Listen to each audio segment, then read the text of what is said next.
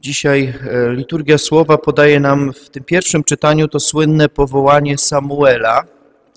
E, Potem święty Paweł mówi o ciele, po co nam jest potrzebne ciało i w Ewangelii Janowej, pierwszy rozdział, wersety od 35 do 42, właśnie ci pierwsi, można powiedzieć, uczniowie, którzy odnajdują Jezusa.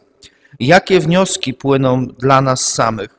Po pierwsze, e, drugi człowiek jest potrzebny nam, abyśmy mogli rozpoznawać to wołanie Boga, żebyśmy mogli odnaleźć Boga w naszym życiu.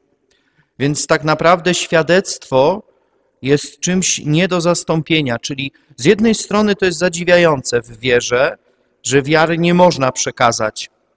Co to oznacza w praktyce? Że to ja, człowiek, potrzebuję osobiście spotkać Boga żywego i zacząć z Nim dialogować, czyli rozmawiać. Wiara się wtedy we mnie rodzi, odkrywam, kim jest Bóg. A jednocześnie ten Bóg zadaje mi pytania, mówi do mnie, przemawia. Ale właśnie w tym doświadczeniu, w tym przyjściu do Boga bardzo ważny jest drugi człowiek. I w tym kontekście też można zrozumieć, że ciało jest źródłem komunikacji. No bo gdyby nie ciało, gdyby nie struny głosowe, gdyby nie umysł, gdyby nie to wszystko, całe człowieczeństwo, to trudno byłoby spotkać Boga. My się spotykamy z Bogiem przez drugiego człowieka i w naszym człowieczeństwie, w tym, kim jesteśmy. Czyli wiara potrzebuje też konkretnych konkretów. Tak jak święty Jakub mówił, pokaż mi, jak wierzysz, pokaż mi, jak twoja wiara wygląda. Czyli mówiąc jeszcze inaczej, no żebym wierzył, to dzisiaj trzeba było rano wstać, zwlec się z łóżka, ogar ogarnąć, ogarnąć się i ruszyć w stronę świątyni. No właśnie o to chodzi, konkret.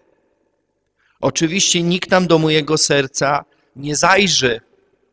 W moim sercu dzisiaj, teraz, w tym momencie będzie odbywał się dialog między mną a Bogiem. Przez to, co się dzieje w czasie Eucharystii. Ale bardzo ważne to, co też święty Paweł mówi, że jeżeli ciało jest zakażone jakimś działaniem, to bardzo trudno jest przez nie się komunikować. To wtedy jakby mamy tę, tę, to zadanie utrudnione, ponieważ w tym momencie ono skupia się na czymś innym. Wtedy bardzo trudno jest podjąć tę rozmowę z Bogiem w codzienności. Zresztą niejednokrotnie jako kapłan doświadczałem tego, pewnie też i osobiście, bo w końcu też jestem grzesznikiem, który, który idzie w stronę Boga, czyli idzie w stronę świętości, czyli wybiera świętość, czyli wybiera Boga. I kiedy dotyka słabość człowieka, to w nas, w każdym z nas dzieje się taka dziwna rzecz, że zamiast trwać przy Bogu, to nagle zaczynamy wierzyć, że to słabość jest odpowiedzią na to, kim jestem. Czyli przestajemy się modlić, przestajemy słuchać Boga, przestajemy Go odnajdywać w codzienności, bo skupiamy się na własnej słabości. A właśnie co dzisiaj mówi święty Paweł, że ciało jest dla Pana. Czyli nawet jeżeli ja doświadczam jakiejś słabości, to nie oznacza, że mam przestać prowadzić dialog miłości z Bogiem. Bo czy Bóg mnie kocha mniej? Żadną miarą. Natomiast to prawda, że ten grzech, który jest we mnie, który się we mnie dokonuje, on może zakłócić tą komunikację. Dlatego jest potrzebny drugi człowiek, chociażby kapłan w konfesjonale, który w imię Kościoła udzieli właśnie i w imię Jezusa Chrystusa udzieli rozgrzeszenia. To wszystko ma głęboki sens. I same sakramenty są oparte w ten na, na tej samej zasadzie.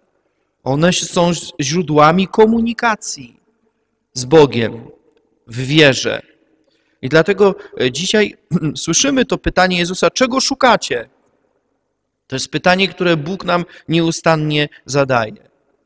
Ponieważ te odpowiedzi mogą być różne. Szukam u Boga tylko pocieszenia, a jak już mi jest radośnie, to sobie idę i zapominam, że On jest.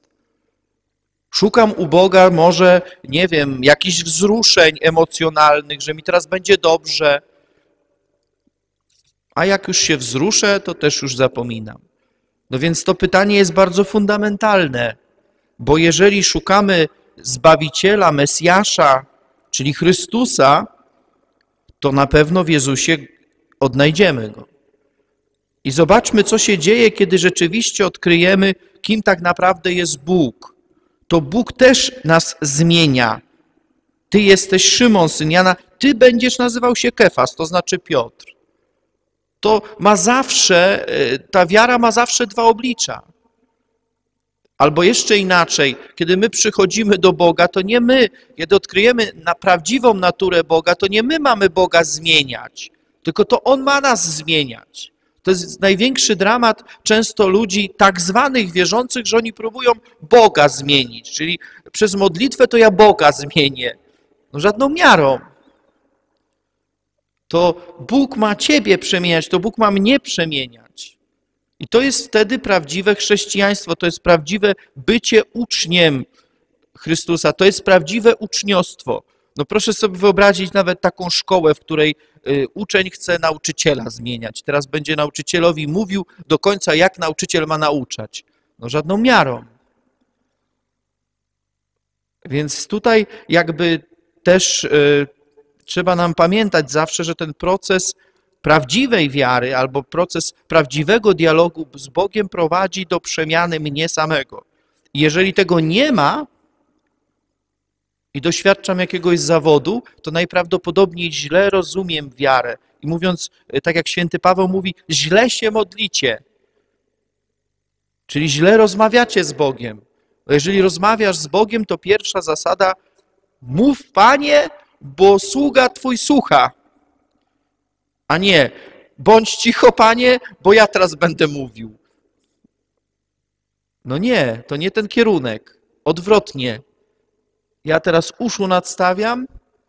Co Ty chcesz, Boże, powiedzieć? Dlatego sięgamy po Słowo Boże, dlatego to Słowo Boże jest dla nas zawsze tym fundamentem modlitwy. Najpiękniejsza modlitwa to taka, która jest oparta o Słowo Boże. Ja nie mam, jeszcze raz powtarzam, nigdy nie miałem nic przeciwko wszystkim tradycyjnym modlitwom, w żadnym wypadku. Ale jeżeli modlitwa nie jest słuchaniem, być może komuś ona coś daje. Ale uważam, że to nie jest ten kierunek. Bo Słowo Boże wyraźnie wskazuje, że modlitwa jest przede wszystkim słuchaniem. Powstańcie.